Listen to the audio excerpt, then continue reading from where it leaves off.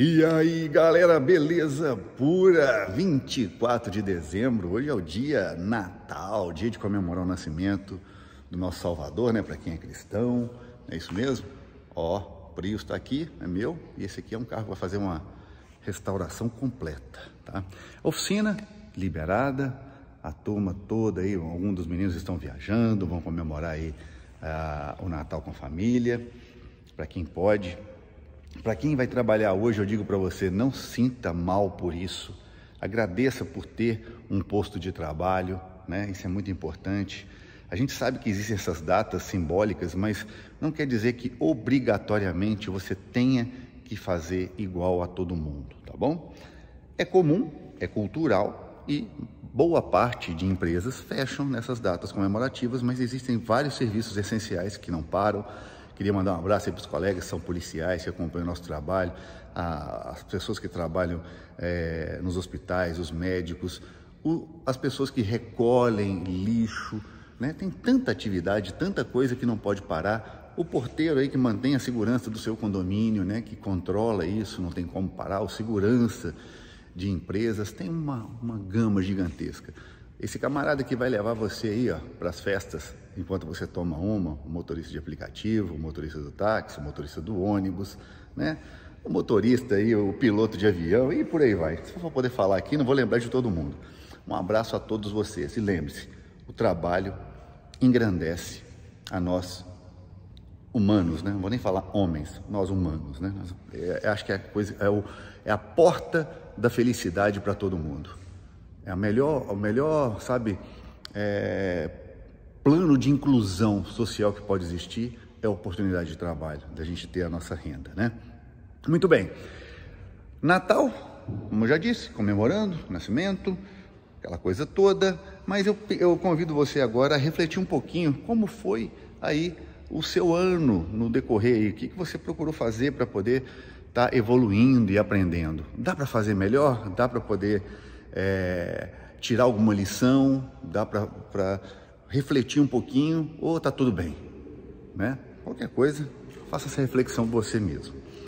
Eu gostaria muito de convidar todos vocês para que pudessem ter novas experiências é, no próximo ano, tá? Que você pudesse experimentar alguma coisa legal, diferente, aquilo que você pode parecer assim, no primeiro momento, uma coisa difícil, mas que acho que vale a pena levar um filho ou seus filhos para ir num parque de diversões que geralmente ele é caro, mas se você separar um pouquinho e fizer um esforço, concentrar um pouquinho da sua energia, talvez você consiga levar. De repente, ir para um restaurante ou para um, para um hotel que você tenha vontade de ir, que não conseguiu, porque está muito difícil as coisas, a gente sabe. Mas a gente sabe também que a partir do momento que você começar a experimentar pelo menos um pouquinho de coisas que parecem tão difíceis, você pode virar uma chave na sua cabeça e começar a se esforçar mais para poder viver essas experiências. Resumindo, a partir do momento que você sabe, eh, sabe de verdade que tem muita coisa legal e boa, você vai querer viver mais essas coisas e você vai procurar se doar mais. Entenderam? Hoje é dia 24, daqui a pouco, né, à noite, né, vai ter aquela ceia, aquela coisa toda nas pessoas que podem fazer isso, e eu estou aqui na oficina, com um carro híbrido ali, com um componente de híbrido aqui, e vou ainda aprender mais um pouquinho nessa parte da manhã.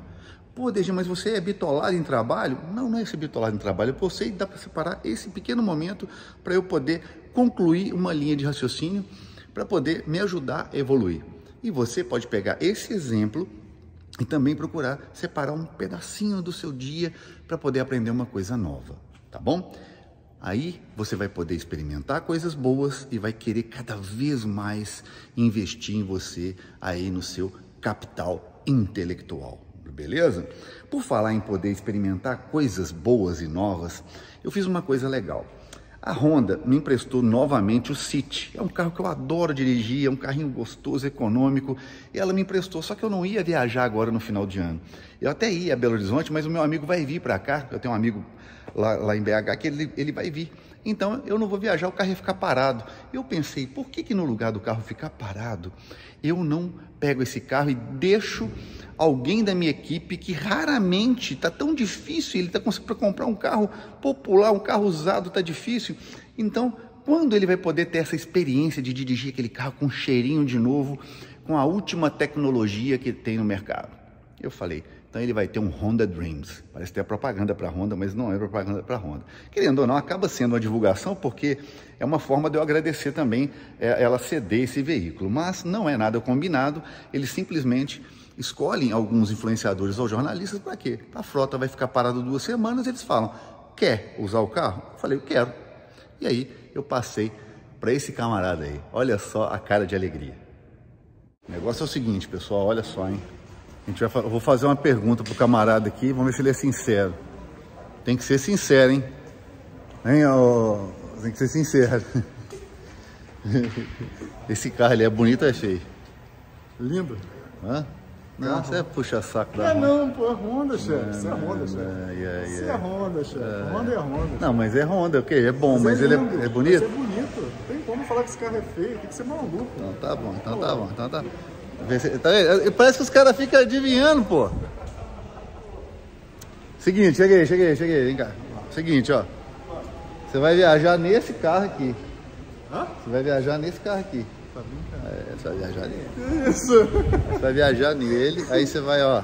Que isso? Sentir o drama do que, que é andar nessa Nossa. joia aí, entendeu? Porque é a quarta Caraca, vez que eu pego esse carro. É a quarta vez que eu pego ele. E aí a ideia agora é que, ó, uma vez. Nossa já, já é a terceira pessoa, a terceira integrante da equipe que vai ter essa experiência. Nossa Senhora. Vai chamar Honda Dreams. Entendeu? Nossa. Aí, olha só, pessoal, ele vai, vai, ele vai pro Rio de Janeiro nessa belezinha aí, ó. Não deixa roubar não, só vou ter que pagar. Tá? que isso, muito lindo. Beleza? Tá de, tá de boas? Nossa Senhora. Econômico, tem farol de, em LED, tem piloto automático adaptativo, mantém na faixa. Vou te ensinar depois a usar os negócios ali. Tá só me devolve quando tá cheio. Tá bom, com Beleza? certeza, com então tá certeza. Bom. Valeu, chefe. Aí, bom não é? Meu Deus do céu. É fino, não é? Top. Hã? Top. Alguém tinha te contado que eu ia deixar o carro com você? Não. Fala a verdade, não mente pra mim não. Juro, não. É? Oh, alguém tinha contado pra ele que eu ia deixar ele viajar com o carro? Não, ele, ele tava ele estava preocupado, que ele estava pedindo peça para poder fazer o restante da revisão do Logan. Do Logan, né? Aí eu falei, não, tá chegando, tá chegando. Tá chegando. Ah, é mesmo? É, agora ele me perguntou, aí você pediu as peças, já tá vindo? Coitado, então eu tava achando que não ia dar para viajar direito, hein, aí, ó. Tá você vai viajar aí, ó. Vai viajar de nave, rapaz. Ó, lançamento da Honda aí, ó. Show de bola. Beleza? É isso aí, ó. Você vai entender o seguinte aí, vem cá. Entra, senta aí. Senta na joia. É chave presencial, então a chave está dentro do carro. Você vai rodar normal. Então só a chave dentro do carro. Ah, não, essa aqui é do meu carro, aqui é do outro carro, da lasanha. Tá aí dentro, vê se tá no console a chave dele, tá aí? Tá, tá, tá aí, tá a chave. Então a chave presencial, bonitinho. Aperta, liga ele aí. Você pisa no freio e dá partida. Isso. Aí é o seguinte, quando você estiver na estrada, tem esses que você está lá dirigindo numa boa, você vai, pode colocar a velocidade que você quer. Você liga o piloto automático aqui, para cima ou para baixo, aqui você aciona, eh, põe a velocidade que você quer. Uhum. Aqui você mantém a distância do carro da frente, se regula. E se você apertar aqui, ó, ele vai mostrar aquelas linhas ali, ele vai ajudar a manter o carro na faixa. Na faixa. É, e se entrar um carro na sua frente, ele freia também, então a gente dá um pouco mais de segurança. Show. Entendeu? Os faróis aí para você que vai viajar um pedacinho da noite é full LED, ilumina bem pra caramba espaço para baixinha ir aqui atrás, dá para ela poder ir divertindo aqui atrás. É a baixinha vai tirar. Não vai? Baixinha, Cheiro de novo. Meu Deus. Entendeu? Com grandes poderes e grandes responsabilidades. Nossa, muita. Tenha uma boa experiência um... e aí Obrigado, depois você me conta o que você achou, beleza? Valeu mesmo. Obrigado é isso aí. coração. Vocês entenderam o que está acontecendo aqui? Eu estou permitindo que uma pessoa tenha uma experiência que talvez seja mais difícil de dela conseguir de forma natural. Às vezes o caminho é um pouco mais longo, mas a partir do momento que a pessoa vai começando a experimentar, ela pode se esforçar mais.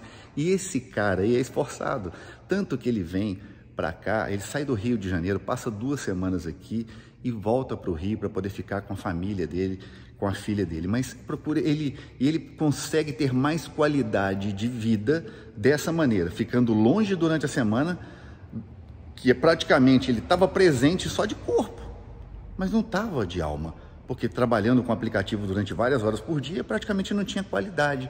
Trabalhava sábado, domingo e tudo mais. E agora ele consegue viajar para o Rio de Janeiro e ter um momento de qualidade com a família. E a filha dele teve excelentes notas, né, tudo mais. Ele mostrou muito orgulho ali as notas que a filha dele teve, uma menina muito linda, muito bacana, uma família muito bonita. E eu falei, já que você vai passear, vai ao Rio, aproveita, vai nesse carro legal, leva sua filha para andar nele, para eles terem esse momento. Pô, DG, mas vai durar só essa, só isso agora? Não. Isso é apenas um estímulo. Para quê? Para que ele possa acreditar onde ele pode chegar. E isso eu desejo para todos vocês que estão acompanhando agora esse vídeo. Esse ano foi um ano muito especial, um ano que eu descobri é, o diagnóstico, né? Foi, foi realmente eu tive o diagnóstico do, do, que eu sou uma pessoa dentro do espectro autista. Eu queria muito entender, eu, eu tinha um problema de compreender o que acontecia comigo e porque eu era tão, é, sabe, on-off, 8 e 80, por que, que eu sou tão intolerante com algumas coisas, por que, que eu tenho é, algumas particularidades que me incomodavam e eu não entendia. Hoje eu consigo entender, estou tratando, ah, não só na, às vezes com medicamentos, que é importante, mas também com terapias, para tentar ser uma pessoa um pouco mais é, social, né? que a gente precisa disso, tá? a gente precisa socializar. A gente precisa tá, entender mais o que acontece no nosso meio. Foi um ano muito, vamos dizer assim, um ano extremamente libertador para mim, onde a partir do momento que você conhece as suas limitações, você começa a trabalhar isso. Legal? Tá aqui, ó. É, tá vendo essas caveirinhas aí? As caveirinhas tá aqui. Esse aqui é o locão aqui da DG aqui, é isso aí, ó. A gente é um pouquinho diferente, mas tamo aí, beleza? Para você que teve paciência de assistir todo esse vídeo, espero que você tenha entendido essa mensagem de Natal um pouco diferente que eu quis passar para vocês. Abrace a sua família e mesmo que você não possa hoje curtir uma ceia de Natal junto com ela, sabe, esteja de alma, esteja de coração e que realmente você possa é, experimentar coisas maravilhosas daqui para frente. Um abraço e um bom Natal.